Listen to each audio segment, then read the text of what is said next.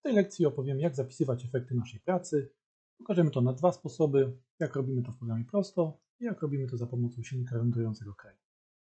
W całym programie Prosto, aby wyeksportować obrazek, go zapisać, klikamy plik, eksport, obraz, wybieramy miejsce, w którym chcemy go zapisać, podajemy nazwę pliku,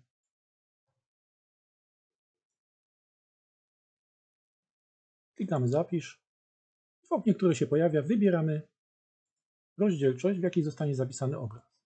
Musimy pamiętać o tym, że obraz dopasowuje się do wybranej przez nas rozdzielczości. Często może się zdarzyć, że wygenerowany obrazek będzie różnił się od tego, co widzimy na ekranie, ponieważ wybrana rozdzielczość ma inne proporcje niż obraz widoczny na ekranie. Jeżeli byśmy chcieli zapisać obraz dokładnie w tych proporcjach, które są widoczne w oknie widokowym, wybieramy rozdzielczość tutaj na górze, opisaną boku jako okno. Wówczas obraz dopasuje się do tych proporcji, które są w oknie widokowym. Możemy też wpisać dowolny rozmiar przez nas wybrany, na przykład jeżeli chcieli obraz kwadratowy. Jeżeli wybierzemy proporcje, możemy wyrenderować większe rozdzielczości, natomiast cały obrazek będzie zwiększony się proporcjonalnie. Wybieram OK. Czas generowania obrazu będzie w zależności od ilości źródeł światła w scenie, materiałów odbijających, od materiałów przeźroczystych.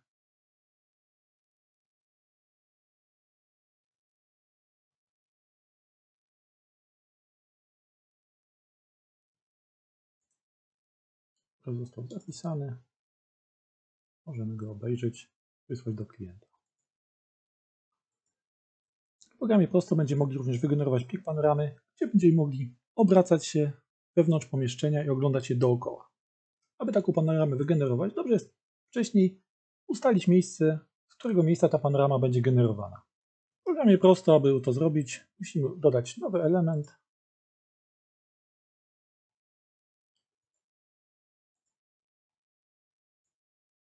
I ustawiamy go na wysokości wzroku. Klikając dwukrotnie w zakładce położenie możemy ustawić spód na 1600 mm. Wówczas ten element znajduje się na tej wysokości. Następnie klikamy centruj i usuwamy tą formatkę. Program pamięta to ostatnie centrowanie i panoramę wygeneruje z tego miejsca, w którym była ustawiona ta formatka. Klikamy plik, eksport, panorama. Plik zapisze nam się w formacie HTML. Jeżeli taki plik wyślemy do klienta, każdy, kto ma przeglądarkę na telefonie czy komputerze, będzie mógł taki plik otworzyć.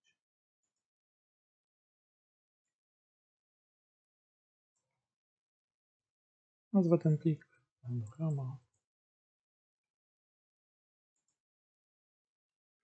Tu możemy zostawić standardowe ustawienia. Klikamy OK.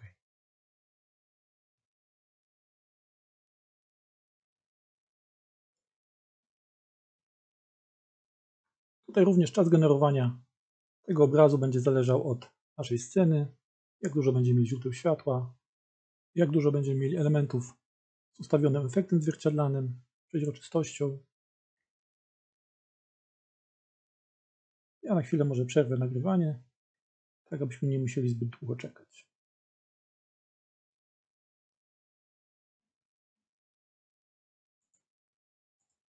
Ich mamy zapisane. Klikamy dwukrotnie i otworzy nam się w przeglądarce.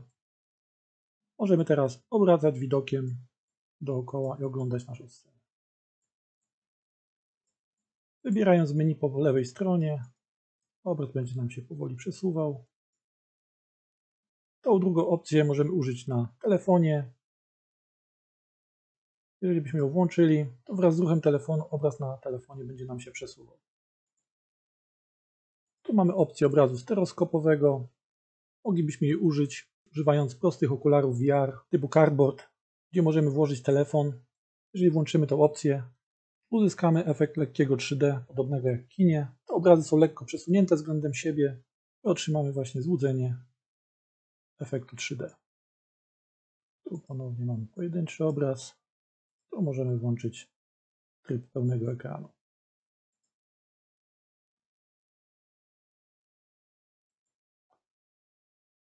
W ten sposób operację zapisu obrazu wykonujemy w samym programie prosto. Aby zapisać render wykonany za pomocą silnika renderującego Cray, musimy go najpierw wyrenderować. Jeżeli miałby to być finalny obrazek, to wybieramy odpowiednią jakość. Ja pozostanę na razie przy niskiej. Wybieramy rozdzielczość docelową. Możemy wybrać z przygotowanych presetów. Możemy sami też ustalić rozdzielczość docelową. Ja wyliczę troszeczkę większy obrazek, powiedzmy 2500 i renderujemy.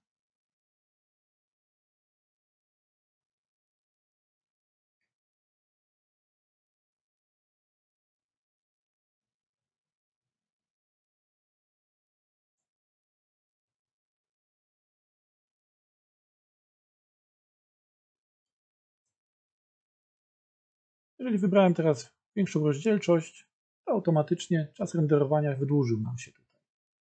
Program ma do wyliczenia większą powierzchnię obrazka.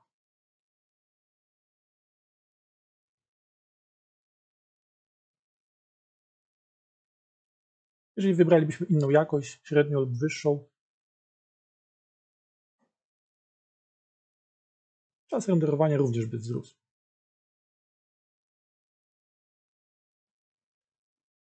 Wszystkie obrazki, które renderujemy, mamy zapisane tutaj w konsoli Creya. One automatycznie zapisywane są na dysku, w folderze, gdzie mamy zainstalowany program prosto, w folderze plugins, export Cray, Cray, cache. Zapisane są te wszystkie obrazki. Jeżeli po wyrenderowaniu chcielibyśmy zapisać ten obrazek w innym miejscu, klikamy ikonę dyskietki. Jeżeli byśmy chcieli obrazek usunąć z listy, klikamy krzyżyk.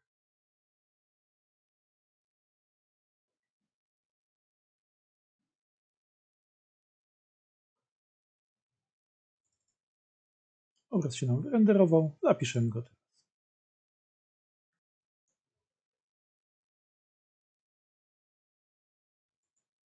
I zapisujemy.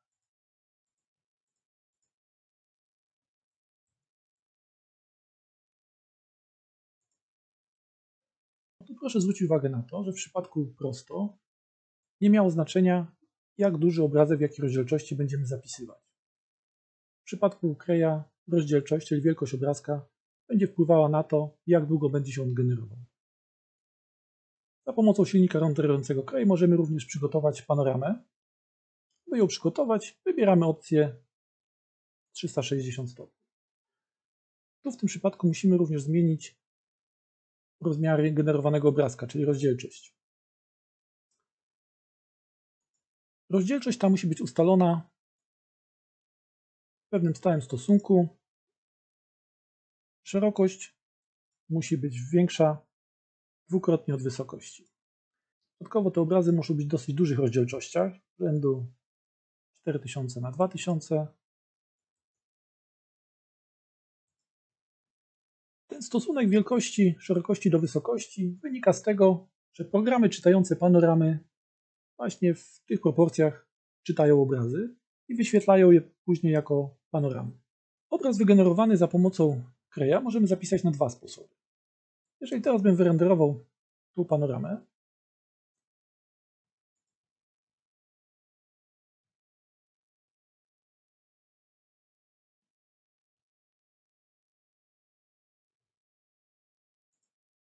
ona oczywiście również będzie się nam chwilę generowała, to otrzymamy obrazek prostokątny w tych proporcjach, które podaliśmy, taki lekko zniekształcony. Natomiast po wyliczeniu, po wczytaniu do różnorakich programów czytających właśnie obrazy 360 stopni, ta panorama wyświetli się już nam we właściwych proporcjach. Taki obraz też możemy wczytać na różnego rodzaju portale społecznościowe. Czytując właśnie taki rozciągnięty obraz, one zostaną przeczytane prawidłowo i wyświetlą je jako panoramy. Tu jeszcze chciałbym zwrócić uwagę na to, że im wyższa rozdzielczość, tym otrzymamy bardziej dokładny obraz. Jednak może zdarzyć się sytuacja, że jeżeli będziemy zwiększać tą rozdzielczość, to w pewnym momencie ten obraz nam się nie wyliczy. Jeżeli taki obraz nie zostanie wyliczony, wynika to prawdopodobnie z braku odpowiedniej ilości pamięci RAM. Jeżeli taki obraz generujemy, to na koniec, tak jak przy zwykłym renderowaniu zwykłego obrazka, następuje proces odszumiania. Ten proces odszumiania potrzebuje bardzo dużej ilości pamięci RAM. To może się zdarzyć, że taki proces odszumiania nie zostanie przeprowadzony i nie zostanie wyliczony obrazek do końca.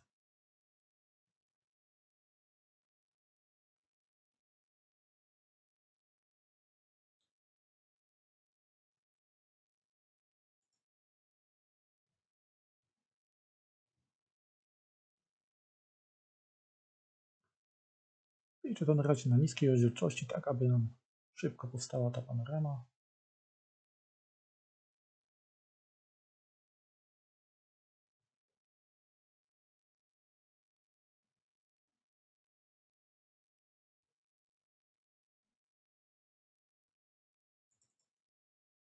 I otrzymujemy taki dziwny obraz rozciągnięty. Natomiast po wczytaniu do jakiegoś programu czytającego panoramy, ten no, obraz zostanie wyświetlony normalnie. Możemy go zapisać jako właśnie taki rozciągnięty obraz w postaci pliku JPG, jeżeli wybierzemy ikonę dyskietki.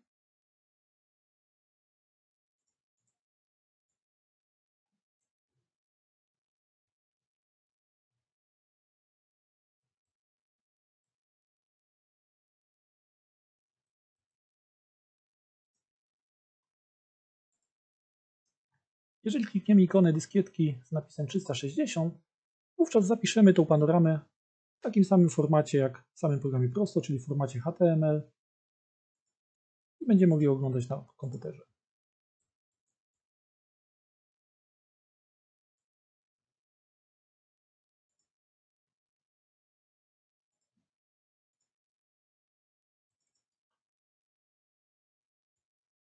Teraz możemy już oglądać zapisaną na komputerze.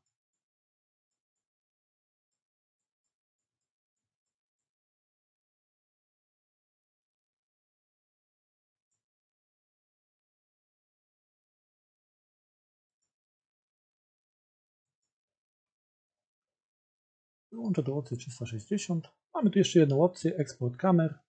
Jeżeli byśmy mieli w programie ustawionych kilka widoków, kilka kadrów, właśnie ustawionych za pomocą kamer, tu przypominam, że tak jak zostawimy ten widok, przejdziemy do kolejnego kadru, tak on zostanie zapamiętany. Możemy przełączać się pomiędzy tutaj widokami.